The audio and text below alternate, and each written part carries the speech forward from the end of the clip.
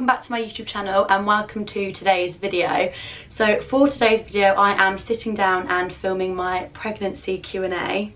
This may be filmed in two halves and I've got to try and be as quiet as I can because I've got Arlo sleeping next door and fingers crossed he'll stay asleep for the duration of this video but um, if he doesn't that'll be why it will be filmed in two parts. So recently on my Instagram I announced that we are expecting our baby number two um, which is really really exciting and um, I thought I'd just sit down and film a quick um, Q&A about it. And I'm going to answer everyone's kind of most asked questions when I put up the um, question sticker on my stories. So without further ado, I'm just to get cracking with it because I'm really worried about Arlo waking up and um, yeah, I've got limited filming time, so let's get into it. So the first question is, how far are you? And I actually have to check my app for this, and this is the Pregnancy Plus app, which I have. And when I was pregnant with Arlo, I would check it every single day without fail. And this time, I just, because I'm more busy with Arlo, obviously, I have very I don't have as much time to check it and stuff so I, I probably go on this about once a week if I remember. But I am exactly 18 weeks and one day pregnant so I'm two weeks off of being halfway which is crazy. I honestly do not know how it has gone this quickly so far the second question is what were your family's reactions? Um, a lot of them weren't really surprised. I think once you've done it the first time you've kind of got the shock out the way maybe. Um, but yeah, all our family were just really happy for us um, and we're excited for Arlo to have another little sibling. So the next question is how did I tell Charlie? Now this is done in the most kind of like unromantic and unspecial way. And like before I got pregnant I just had like this vision of like telling him in a really nice way but there's just no way that I can kind of keep that secret if I've just found out. So I just told him as soon as I'd done the test um, we were both really in shock. We weren't really expecting it. Um, but yeah just literally told him as I was doing the test so there was no sort of nice reveal in that for him but I just think how can you keep that a secret? Like I wouldn't have been able to speak to him in the same way had I have known and not told him. The next question is what is my biggest craving? Now I don't think I really have like strong cravings for certain things. Like I'll fancy something particular one day but I won't like it won't be like a reoccurring thing but yeah, I don't know, like it was the same with Arlo. When I was pregnant with him, I didn't really have that strong of a craving for anything in particular, um, which is quite boring. But yeah, I mean, it's hard to even say what I fancy. I mean, it, it comes to an evening and I just want anything like sweet, sugary chocolate. But yeah, I suppose that is my biggest craving. I'm, I'm really not sure. You hear of all these people having wild and wacky cravings and that's just not been me both pregnancies. I don't know why, but I just, yeah, I don't know. I don't crave anything in particular. Some people crave like cleaning products and like and sponges and things like that, which is wild, but I can't say that I've ever like craved anything like that. So the next question is what is your best and worst part of being pregnant? So the best part is obviously knowing that you're growing a little baby inside of you um yeah that's obviously got to be the best part and i haven't got to it yet but i remember my my best part of being pregnant with Arlo was feeling um, his kicks.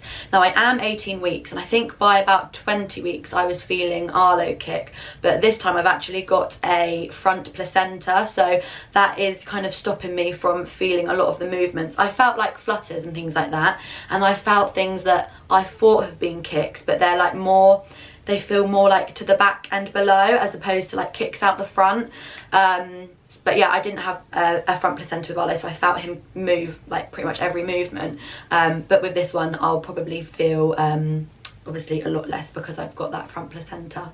And the worst part of being pregnant will lead me on to my next question is the symptoms. Um, I haven't struggled too badly with any of the symptoms. I haven't had sickness but I've felt really really um, like nauseous and like felt sick. Um, and that was more towards the um, like beginning of the pregnancy in the first trimester. Um, but luckily that has now stopped. Um, and I don't know why they call it morning sickness because I'd never ever felt it in the morning. Mine would only ever be in the evening um, like around dinner time which is a weird one really because I don't know I suppose is it more common for people to have it in the morning? I don't know but yeah mine was a lot more towards the evening. Um, so yeah the the bad the bad symptoms are um, definitely like the worst part of the pregnancy but obviously like it's just nice to have that reassurance that you are pregnant I suppose like having symptoms and stuff like that. So it's the worst part of it but it's not like bad bad. So that leads me on to my next question which is what are your or what were your worst symptoms? Um, and like I said in the first trimester it was definitely the nauseous um, and I was a lot more tired as well in my first trimester. But literally as soon as I got to 12 weeks as soon as I got to the second trimester that all went for me. Um, but I do now get really strong like I suppose they're like hormone headaches and that's definitely the worst symptom so far. Um, and I can kind of feel the fatigue like creeping back in again which I'd felt more in the first trimester and not now. So hopefully that's just a blip um, because that is really really hard. Obviously having Arlo to look after and just feeling really really tired because there's not much you can do. Like I'm getting full night sleeps and things like that but yeah it's it's tricky looking after um, a one-year-old and being pregnant at the same time. So I would definitely say if you're pregnant now with your first baby just oh, just relax as much as you can because you will not be able to do that again. Um, so yeah, that would be my one bit of advice for someone who's pregnant the first time. The next question is, how do you feel about giving birth the second time? And I'd be lying if I said I hadn't given it much thought. It has been on my mind a lot more than the first time. I think because you're more aware of what's to come and it's a little bit more daunting.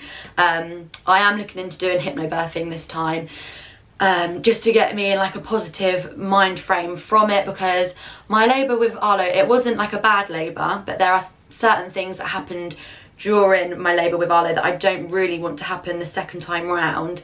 Um, obviously you can't stop what's going to happen and I did go in um, to my labour with Arlo with like a really open mind and just went in with the kind of intention that what happens um, will be but yeah I don't know I just it's a lot more like daunting the second time around just because you know exactly what can go wrong and what to expect and things like that. And I had one dream the other night was um was me giving birth and that just brought it all back for me. It brought back the feelings. And after that I was like oh my god I can't do that again. But obviously it's inevitable. It's gonna happen. Um so you just got to be like positive about it. So that is why i'm going to be looking into doing hypnobirthing because i just want to kind of get myself like a positive mind frame. And it is all about your mind as well. Like i think a lot of it is to do with your mind. Um and so yeah the next question is what does arlo understand? Now arlo is just over one. He's 13 months old and he understands what a baby is and knows what a baby is. He's got a little baby book which he's had for months and months. Um, he got it before we were even pregnant. Um, and he loves looking through that and he goes ah at babies and like yeah he understands what that is. Obviously we've told him that we're having a baby and he's gonna have um, a baby sibling. Um, so I suppose for a 13 month old it is, it is quite hard for them to understand they don't really know too much but when I've like shown him my tummy he gives it a kiss which is really really sweet if I've got a video I'll um I'll insert it now Oh, that's lovely. What's in Mummy's tummy? What's in Mummy's tummy? Say baby.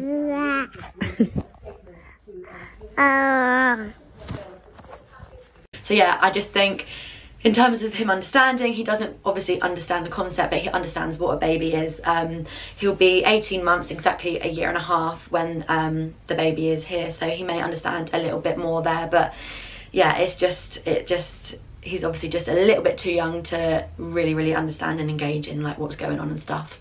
And the next question is, do you feel prepared? And I would 100% say that I feel more prepared this time round than I did the first time. Like, we do not have to buy a single thing now because obviously we got everything for Arlo. Um, we're really um, lucky. I mean, we did this on purpose. We chose a pram that could turn into like a double buggy. Um, so, I mean, we've already got our pram sorted for Arlo and the new baby to both have together. Um, we've got Arlo's old baby car seats, like things like that. We've literally got everything. And I also kept all of Arlo's um, baby clothes so obviously they can use all of those. Obviously we will be buying like other little bits of clothes and things like that as Arlo was a um, December winter baby this baby is going to be in July. So yeah in terms of um, things like we've literally uh, feel so so so prepared don't have to buy a single thing. And then mentally do I feel prepared? I would say yes. I've been really lucky in that I've actually been childminding a little boy who is two days younger than Arlo and I've been doing that for a couple of days a week since August. And I would say like that has given me such a good insight into what having two at the same time um, is like although they are very similar in ages so it obviously will be different having a newborn and a toddler. But in terms of having two at the same time I think it, it will be okay. Like obviously I only look after this little boy for two days a week and those two days a week are they are hectic obviously with two children running around. But um I suppose it's just going to be 24 7 hectic. But it's just yeah it is what it is. If it was that bad and that that crazy and that hard no one would do it. And it's just like I don't know I just suppose like growing your family is like one of the most natural things to do. So I don't know. In in answer I feel like yeah I'm prepared. And the last question is can we get a bump update? So I've got my little dress on. I don't know if you can really tell. I've got a bit of a bump. God, it looks a lot bigger when I do that. But yeah, so this is me at 18 weeks, which is just, it is absolutely crazy to say, like 18 weeks. I honestly do not know where the time has gone. It has gone so, so, so quick. And I suppose it's only going to go quicker um, because I find like the first 12 weeks are the, um, is the time that probably goes the slowest. But yeah, I think it's just going to fly by from here, especially once you've gone halfway. Like, yeah, it's just gonna absolutely fly by. So yeah, very, very exciting. It does just seem to be happening so quickly. And I, like I said at the beginning, like now I have Arlo, I barely have any time to even think about it. And I, to be honest, most days I don't even really remember that I'm pregnant. I only mainly remember in the evenings once Arlo's gone to sleep.